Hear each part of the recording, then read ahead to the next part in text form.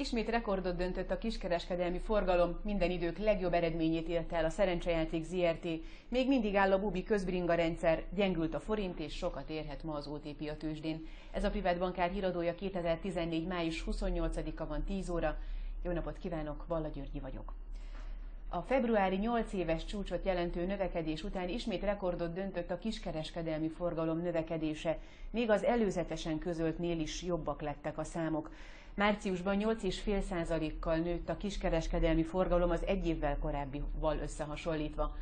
A Nemzetgazdasági Minisztérium ezt úgy értékelte, hogy szerinte a kiskereskedelmi forgalom bővülése a rezsicsökkentésnek, a családi adókedvezményeknek, a foglalkoztatás bővülésének, a reáljövedelmek növekedésének és a fogyasztói bizalom javulásának köszönhető. Péntektől újra állami tulajdonban lesz az Antenna Hungária. 56 milliárd forintot adott érte az állam azért, mert úgy tartja, hogy a cég Magyarország stratégiai fontosságú közműszolgáltató vállalata, amely állami tulajdonban hatékonyabban szolgálhatja a kormányzati törekvéseket. Minden idők legjobb eredményét produkálta tavaly a szerencsejáték ZRT. A 243,3 milliárd forint árbevétel 30,6 milliárd forinttal haladja meg az előző évit, ez több mint 14 os növekedést jelent.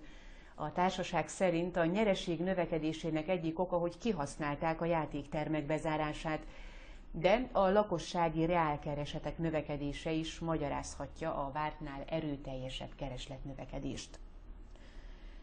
Tavaly Jersey-re, Jersey-re utalták ki a legtöbb osztalékot a magyarországi cégek. A Népszabadság felmérése szerint a csúcsnyerességek alapjául szolgáló bevételek jelentős része csak átutazik Magyarországon, és a belőlük származó profit gyakran valamelyik adóparadicsomban landolva kerül a tulajdonosokhoz.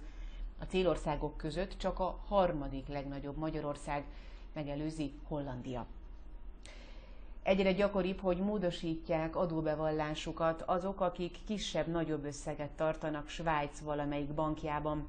A Magyar Nemzet cikke szerint ez azoknak a figyelem felhívó leveleknek köszönhető, amelyek a közelmúltban érkeztek Svájcból a helyi bankok magyarországi ügyfeleihez. A pénzintézetek ebben arra kérték a címzetteket, hogy igazolják ott tartott vagyonuk eredetét és tisztázzák a viszonyokat. Mindössze négy napja maradt a kártyabirtokosoknak arra, hogy elköltsék a szép kártyájukra még 2012-ben feltöltött pénzt. A határidő május 31-én jár le, aki addig nem költi el a pénzt, azt visszautalják a munkáltató számlájára. Továbbra sem lehet tudni, mikor indulhat el a MOL Bubi közbringa rendszerének próbaüzeme, azaz mikortól lehet használni a zöld kerékpárokat. A Budapesti Közlekedési Központ azt közölte, csak akkor indítja el a rendszert, amikor az már tökéletesen működik. Jelenleg a működéshez szükséges szoftverek finom hangolását végzik, tesztelik. Két forinttal drágult a benzin, mától a gázolajára ezúttal nem változott. Az emeléssel a benzin literjéért 413-414 forintot kell adni, míg a gázolajért 417-418 forintot. Amol legutóbb múlt hét pénteken változtatott az árakon, akkor két forinttal emelte a benzinárát, a gázolai akkor sem változott. Gyengüléssel kezdte a napot a forint, az euróhoz képest 303.5-ről 304.5-ig gyengült, akár csak a török líra és a dél-afrikai rand. Most a bankközi devizapiacon 304 forintot kell adni egy euróért, egy svájci frankért 249-et, egy amerikai dollárért pedig 223 forintot. A tőzsdén kitarthat a jó hangulat, a magyar részvénypiacon az OTP kerülhet a befektetők fókuszába, mert ma forognak a vállalat részvényei utoljára osztalék szelvénnyel. Ami a többi vezető részvényt illeti, a MOL, a Richter és az M-Telekom is veszített értékéből a keddi záráshoz képest a legtöbbet 1,1%-ot a Richter veszítette. Napközben egy fontos makrogazdasági adatot tesznek közzé, ez pedig a német munkanélküliségi ráta májusi értéke lesz. Egy órakor lesz legközelebb híradó itt a privát bankár oldalán. Köszönöm figyelmüket, viszontlátásra!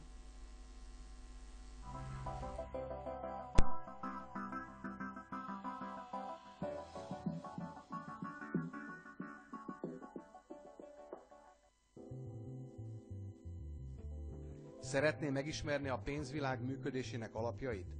Első kézből akar értesülni a legfontosabb változásokról? Tudni szeretné, mi történik a gazdasági és pénzügyi események hátterében? Utána jártunk. A privátbankár.hu oldalai megjelenő cikkek közül egy csokorba gyűjtöttük azokat az exkluzív anyagokat, amelyek elsőként vagy kizárólag nálunk olvashatók. Mi ugyanis utána jártunk. Háttérinformációk a gazdasági és pénzügyi hírekről, tőzsdei és devizapiaci elemzések, összeállítások, ismeretterjesztő cikksorozatok üzleti alapismeretekről, állampapírokról, befektetési alapokról és az élelmiszerárak alakulásáról.